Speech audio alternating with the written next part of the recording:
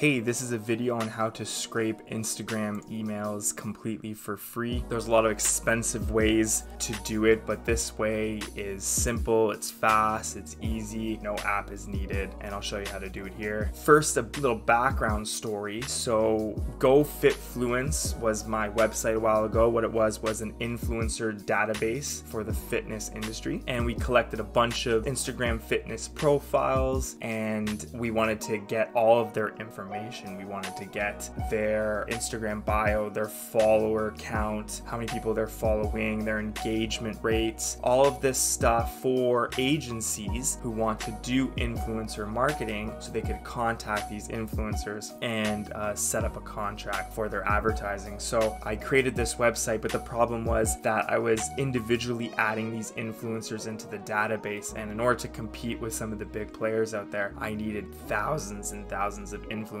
So doing it one by one, doing it by hand was not going to work. So I needed a way to scrape all of that information. And this is kind of where it all started. I hired a freelancer to start. The freelancer was from Bangladesh, was an expert in data extracting, data collecting, but it was very expensive. He was charging maybe 50 cents per lead. So as you can see, that quickly adds up if you get thousands and thousands of influencers. So that didn't work. My next thought was to do it automatically. So I hired a programmer, and that programmer uh, was very inexpensive, but he found one problem. The one problem he ran into was he was not able to scrape the email address from the contact me section of the Instagram profile. So as you know, there's two ways that an influencer or anybody on Instagram can put their email address in, especially if you're a business account. The first way is you can use the contact us or contact me button and then you put an email address in there. So only people using the app, and I'll show you now when you go to an Instagram profile on your desktop, there is no contact button. It just shows the basic profile. They want you to use the app app. So in the app, there is a contact button, and when you click that button, it opens up your email provider from your smartphone. So if it's Gmail or iPhone, whatever it is, it opens up that email. The second way that someone can put their email address in their profile is in the bio section. So the developer wasn't able to use the API to scrape email addresses from the contact section, only from the bio section. And that's an issue because it's maybe, I'd say, out of every 10 influencers, nine of them have it in the contact section, and only one of them has it in the bio. So there was a lot of influencers in my database that wasn't getting the correct email address, their business email address, and that's very important for an agency. If an agency wants to contact the influencer instead of contract, they're going to need that email address. So what I did was I, I did some research and I found this site, instaprime.com, and unfortunately their website shut down. They still have their help center up, but yeah, their main website is Gonzo. And that's unfortunate because that was a great product. It cost, for an unlimited amount of profiles scraped, it cost $90 a month US. And that was great because how it worked was you would put in an Instagram profile that you wanted to scrape the information from their followers. So, for example, if I wanted to do, let's say, Shopify stores, e commerce stores, I chose the Shopify Instagram profile account. They had around 500,000 subscribers and then it would just work day and night and it would scrape all of the followers and it would scrape only the profiles with an email address, with a business email address, and it used the API. Your account would get shut down every once in a while because Instagram knows that if you're using their API so frequently, it's probably a bot account, it's probably doing something against their terms of service, so it would shut your account down. But if you just created multiple accounts and you just let them keep running, you'd be able to scrape all of the followers. And in maybe eight days, I got 100,000 email addresses from the Shopify profile, which is arguably e commerce businesses. So if I had an e commerce business to business software or product to sell, this would be a perfect list to send those emails to. So unfortunately, that shut down, but I just want to quickly show you how it looked when it spit out the data. So it got you everything you needed. This would have been perfect for the fitness database. It gave you the Instagram username, it gave you the business email address in the contact section, it gave you the bio It gave you their name of what they used on Instagram. It gave them a website if they had a linked website in their profile. It gave us the niche or the type of business they're in. It gave them their business address, their state, city, or country, and it just spit it out in a nice, easy to read Excel file. So that was perfect. That didn't work. Another options is Stevesie data. I'm sorry if I'm pronouncing it wrong. I quickly looked into this. I know it does work because I did test it. It doesn't spit out as neat of a file as the other site does, but this one is still active and up. The problem is it is very expensive. The more users you want to scrape, the more profiles you want to scrape, you're going to be spending a lot of money.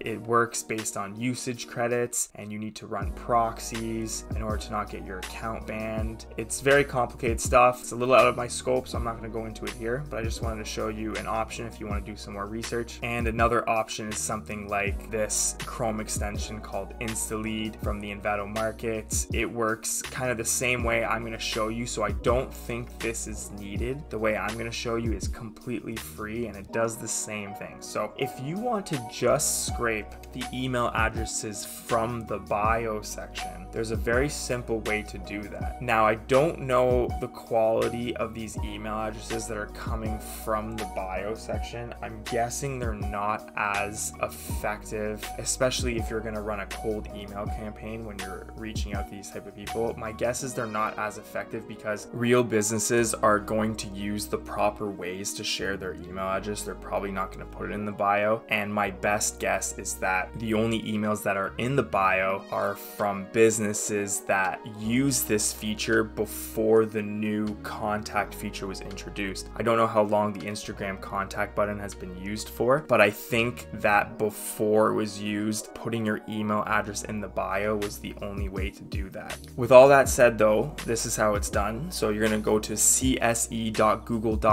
and you're gonna create a custom search engine. So we'll start by clicking create a custom search engine in the top right corner. And I'll leave this website in the description below so you can quickly click on it. Sites to search, we're gonna choose Instagram.com and we can name that search engine Instagram. It's gonna auto populate that for you. After that's created, we're going to view it on the web. So click the public URL. In the top search bar here, we're gonna use a keyword to search Instagram.com. So let's say you want to start sending software or products to coffee businesses, tea businesses, businesses like that. And that keyword is going to search all the Instagram.com URLs and pull out a list of businesses with that keyword in the title or in the bio or in a hashtag. And we're also going to search for known email addresses because we can't guess the back part of the email, the domain name, but we can use businesses, especially early businesses that use Gmail, Hotmail, Live, Yahoo, AOL, those type of addresses. We can use those. So let's start with the keyword. We're going to put this in quotes. We're going to put coffee and then we're going to do another keyword and we're going to do Gmail. So what it's going to do is this engine is going to search Instagram for all of that. And as you see, it's going to pull up a bunch of links with coffee as the keyword and Gmail. So this is probably businesses. And as you can see, they look like a bunch of online businesses that sell coffee. And what we can do is we can just copy all of this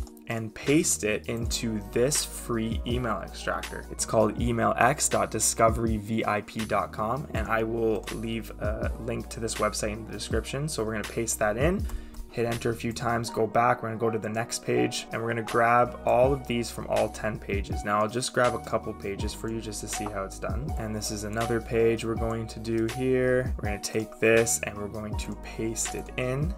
And once you've done all 10 pages, we're gonna choose the separator by new line, and then we're gonna click extract. And see here, I removed all of the non-email addresses. We can just take this, copy it, and put it into a Google Sheet. Going back, we can also do this with, let's say, a different email address. We'll do Yahoo instead. And as you'll see, it's the same thing, but this time it's gonna show Yahoo email addresses. So we'll grab all of that, paste it into the email extractor, and hit extract. There you go. I hope this helps and shows you how to get business email email addresses scraped off of Instagram, but those email addresses are only in the bio section of the profile.